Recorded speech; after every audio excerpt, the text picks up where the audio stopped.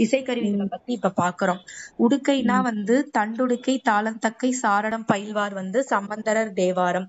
மொத்தம் இசைக்கருவிகள்ல தோல் கருவி வந்து ஏழு போல வரும். அடுத்து ஆஹ் இது குழல் இனிது யாழ் இனிது என்பதம் மக்கள் மழலை சொல் கேளாதவர் வந்து திருக்குறள். திருக்குறள்ல வந்து குழலை பத்தி சொல்றாங்க புல்லாங்குழலை பத்தி. புல்லாங்குழல்னா வேய்குழல் பூங்குழல். ஏழு துளைகளை உடையதும் சந்தனம் செங்காலி கருங்காலி மரங்களால இதை செய்யறாங்க கொன்றை குழல் முல்லை குழல் ஆம்பல் குழல் அப்படின்ட்டு பல வகை குழல்கள் இருந்துச்சு அப்படின்னு சிலப்பதிகாரத்துல சொல்றாங்க. அடுத்து வந்து கொம்பு. அதுல வந்து ஊதுகொம்பு எக்காளம் சிங்கநாதம் துத்தரி எல்லாம் இருக்கு. இது பித்தளை அல்லது வெண்கலத்தால செய்யப்படுறாங்க. இது மாட்டு கொம்பை போல இருக்கும். அடுத்து சங்கு வந்து இது ஒரு இயற்கை கருவி. சங்க வலம்புரி சங்கு அப்படின்னு சொல்றாங்க. சங்கநாதம் அப்படின்னு சொல்றாங்க. பணிலம் அப்படின்னாலும் சங்கு.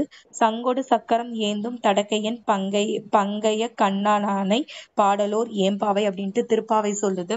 சாளரான பாண்டில்னு அர்த்தம். சேகண்டி அப்படின்னா மணிவகையை சேர்ந்தது. சேமங்கலம் அப்படின்னா கோவில் வழிபாட்டின் போதும் அஹ் செத்தப்புறமும் இதை வந்து இசைப்பாங்க. திமிலை அப்படின்னா பெரிய புராணத்துல சொல்லுவாங்க மணர் மணற்கடிகார வகையில இருக்கும். திமிலைனா பாணி என்னும் பெயராலும் அழைப்பாங்க. சங்கொடு தாரை தாளம் தலங்கொலி முழங்கு பேரி வெங்குரல் பம்மை கண்டை வியந்துடி திமிலை தட்டி. சங்கொடு தாரைனா பெரிய புராணம். சங்கொடு சக்கரம்னா சக்கரம்னாலே திருப்பாவை ஆண்டாள் தான் இது பெருமாள் தான் சக்கரத்தை கையில வச்சிருப்பாரு. அது வந்து திருப்பாவை. உம் பறைய வந்து ஆக்கோட் பறை அப்படின்னு சொல்லுவாங்க. இப்ப தப்பு தப்புன்னு சொல்லுவாங்க. அதை தப்பாட்டமா அடிப்பாங்க. மத்தளம் அப்படின்னா மட்டு பிளஸ் தளம் அப்படின்ட்டு அடிகாருக்கு நல்லார் சொல்றாரு. இத வந்து முதற் கருவி அப்படின்னு சொல்றாங்க. தஞ்சை பெரிய கோயில்ல கல்வெட்டுல கல்வெட்டுல வந்து இசைக்கலைஞர்கள் வந்து மத்தளம் வாசிச்சதா அதுல ஒரு செய்தி இருக்கும். இது வந்து நாச்சியார் திருமொழி செய்திருப்பாங்க. மத்தளம் கொட்ட வரிசங்கம் நின்றூத முத்துரை தாமம் நிறை தாழ்ந்த பந்தர்கீழ் நாச்சியார் திருமொழி. அதாவது முரசுக்கு வந்து முரசு படைமுரசு கொடைமுரசு பணமுரசுன்னு இருக்கும் முப்பத்தாறு வகையான முரசு இருக்கு. அப்படின்னு சொல்லிட்டு சிலப்பதிகாரத்துல சொல்லுது. மாக்கன் முரசம்னு சொல்லிட்டு மதுரை காஞ்சி சொல்லுது.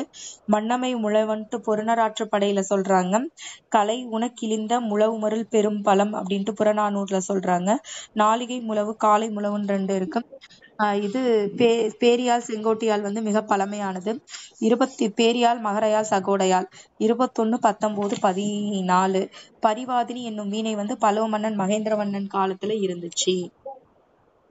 ஓகேவா?